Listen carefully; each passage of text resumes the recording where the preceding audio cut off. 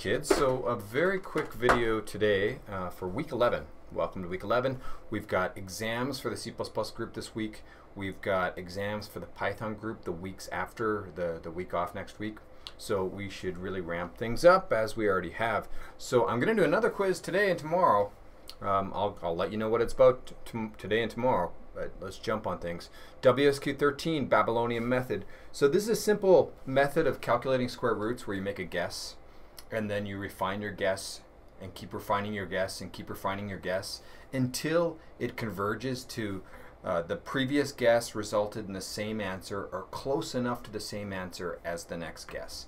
So we're going to go through that, WSQ13, and I'll explain it in class for anyone who wants to look at that, and we'll do more quizzes. We're going to do quizzes this week and we'll just keep cranking on things. Remember that you need to look at partials 2 page and be sure what you need to get done before the end of the end of the partial. So there's 32 points of mastery. I want those done on April 6th. That's the Monday returning from vacation.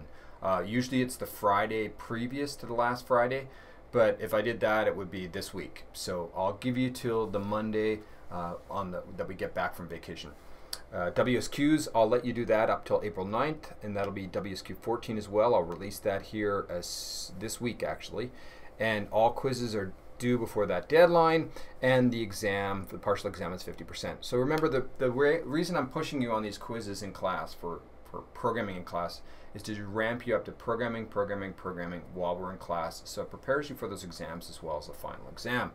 Have an awesome week, and I'll see you in class.